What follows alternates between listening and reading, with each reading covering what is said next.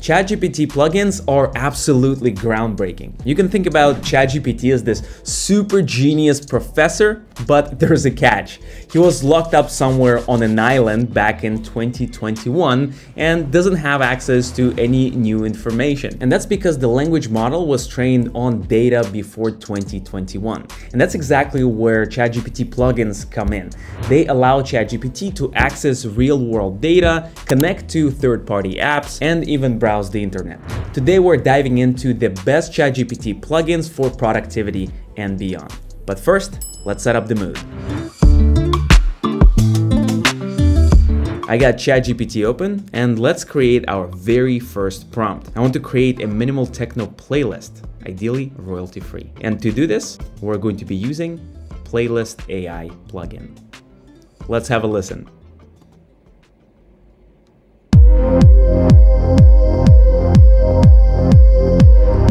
We're ready.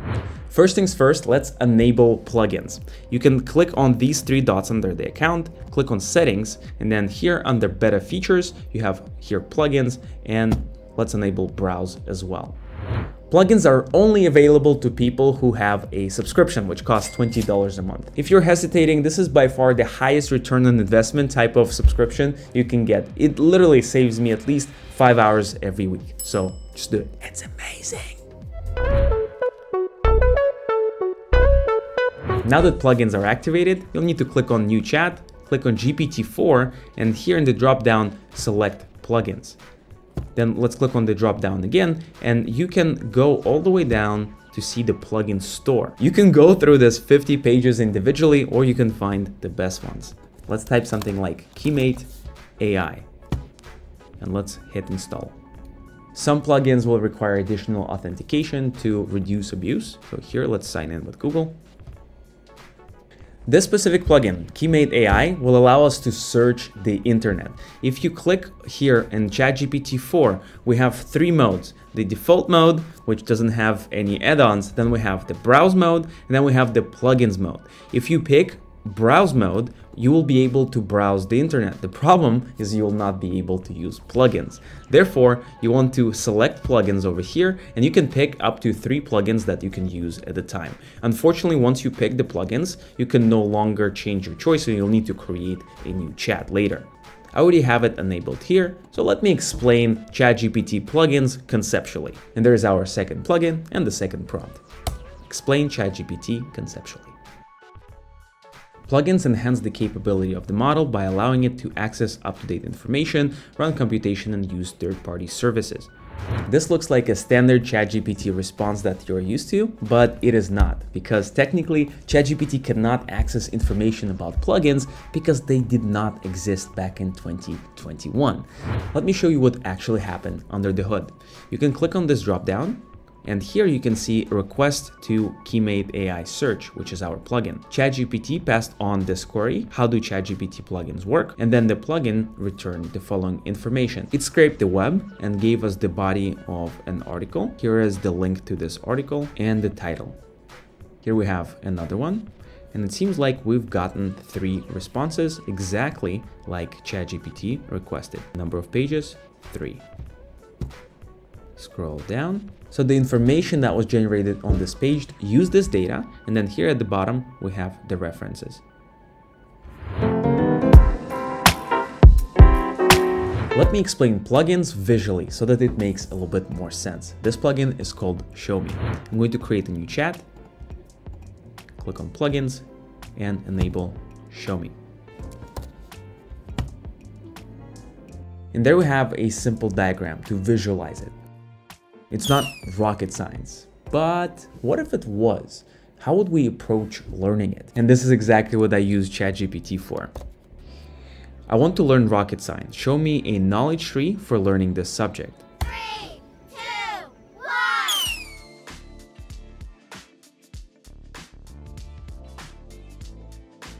But let's take a step back. If you do not know how to prompt ChatGPT for plugins specifically, you might not get the results that you're looking for. Here are a few practical tips to prompt plugins a little bit better. First, give ChatGPT a role. This will give you more specific and relevant information. Here's a generic prompt and a generalized output. This wasn't really useful at all.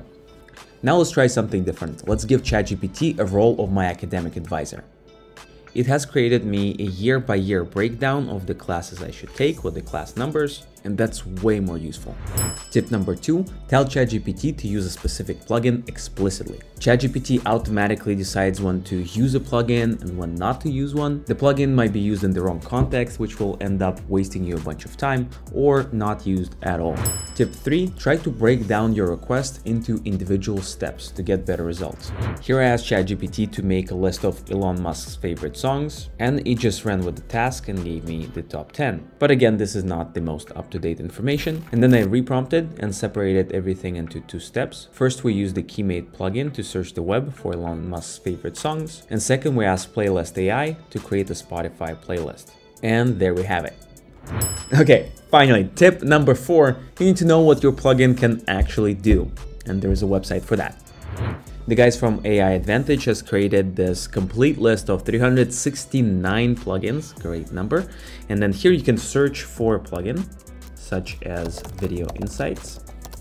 There we have it.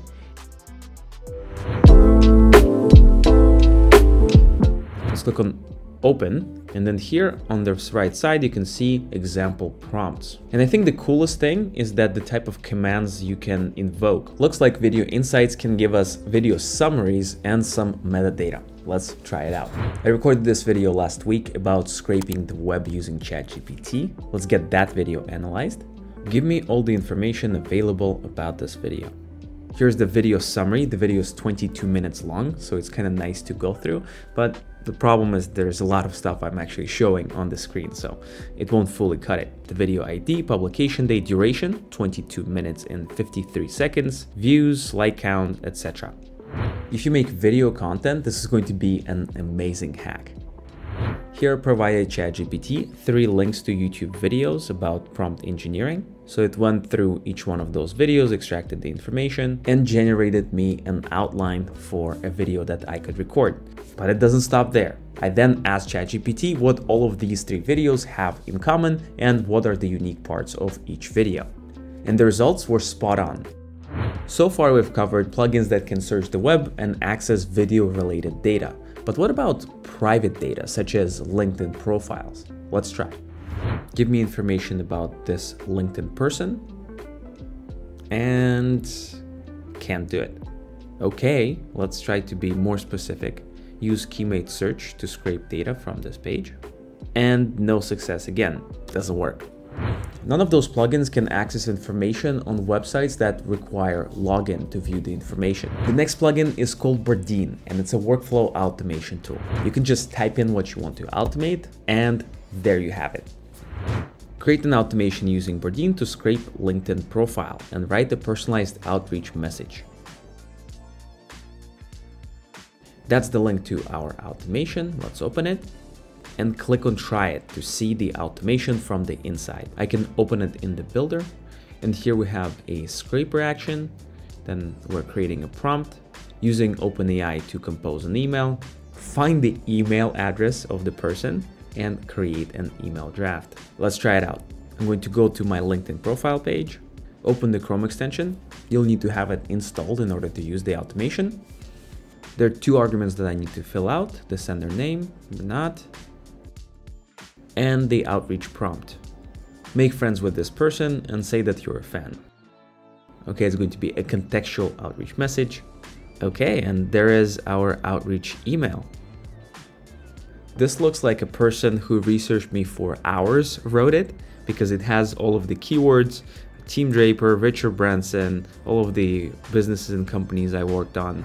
And all of this was created by prompting ChatGPT and a couple clicks. Reaching out to myself is obviously kind of useless, so let me show you another cool use case I found. Copy all of the comments for a LinkedIn post into a spreadsheet. ChatGPT is creating the automation. Let's go ahead and try it out. We're going to pick a spreadsheet I'm going to create a new one. Let's call it LinkedIn comments. Let's provide it a LinkedIn post to scrape. And there we have the spreadsheet. Let's click on view. Boom. We have all of the people, their profile pages, the comment, this is just awesome. Then I can run the other automation to do automated outreach. That's three automations. You can download the Bardeen browser extension by going down through the description of this video. The next plugin is pretty mind-blowing. It's called Wolfram, and it adds computation and reasoning on top of ChatGPT. Here's how Stephen Wolfram explained it. What do you think are the limitations of uh, large language models, just to make it explicit? Well, I mean, I think that deep computation is not what large language models do. I mean, that's just, it's a different kind of thing. If you're trying to do many steps in a computation, the only way you get to do that right now now is by spooling out, you know, all the, the whole chain of thought as a bunch of words. It's a bizarre and inefficient way to do it. Anything that you can do kind of off the top of your head type thing is, a, is really, you know, is good for large language models. And the things you do off the top of your head, you may not get them always right, but it's thinking it through the same way we do. But what can it do exactly? Let me give you an example. Here we are on acquire.com. This is where startups get listed for sale and they provide all of their numbers. So let's copy this information we have Wolfram enabled and let's ask ChatGPT to do financial analysis on this startup and paste the details. Here we have analysis on each individual part, such as revenue, profit multiple, and the team, but no Wolfram yet. Let's make a more specific request. Instead of paying the full amount, I want to negotiate paying the asking price over the period of 12 months. This will enable me to make 15% return on the money that wasn't paid to the startup. How much money can I make extra if I negotiate these terms? Make a graph. And then Wolfram does its computation. So negotiating the payment term will generate me $30,500 extra. And here's my profit graph, the decaying function that I'll be making from that investment investment analysts at this point might be either super happy or out of the job. Wolfram Alpha is ridiculous for any type of computation, but there are a few other things that you might consider exploring. Here's some things that it can do. First, it can act as a database and it can have real-time data from the stock market, for example. Yes, information about Pokemons, geographical data. You can do plotting, geometry, tap into the movies database, and so much more. Frankly, Wolfram is its own universe, so you should explore it in a separate video. Okay, it's getting late and I'm getting hungry. Have you used ChatGPT? No. And what's your favorite dish? Pasta bolognese. Do you know how to spell it? yes. okay. so let's click on ChatGPT 4. We have here Instacart enabled. So I want to make pasta bolognese for two grown, huge, athletic dudes. because I want the big portion. You know, usually you get recommendations for tiny, tiny portions. So you're breaking down all of the ingredients. Mm -hmm. And as you can tell, there are a lot of ingredients. All right, there's some instructions. So technically we can click on stop generation over here because I don't have the instructions of how to cook it. You already know it. Yeah. I'm going to click here I'm going to say something like, can you order all of the ingredients? Sure, I've created the shopping list for you. You can click on the shopping list. Yeah, this is the delivery app. Here we have 12 ingredients and we can order all of them pretty much with one click. For delivery? Yeah. So you want bolognese? First you said, hey, I want bolognese. And then you can technically even do it with one prompt. next thing you know, you don't need to read recipes, go to the grocery wow. store, organize. Does this look accurate? Pretty much. Wow, I'm impressed. Do you think this is useful? Of course. And this were the 7 best ChatGPT plugins. You can find the links to all of them down in the description. Also, if you want to find more niche plugins, I'm going to leave a link to that resource with 300 plus plugins in the description. It's by AI Advantage. Check out their channel, they're pretty cool. And I'll see you in the next video. Cheers.